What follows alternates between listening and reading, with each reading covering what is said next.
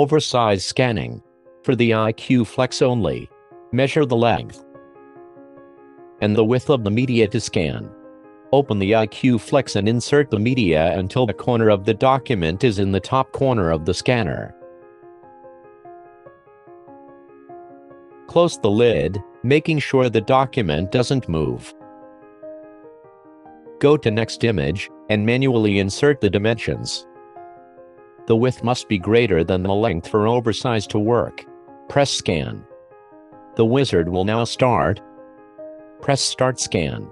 The scanner will scan the first half of the document.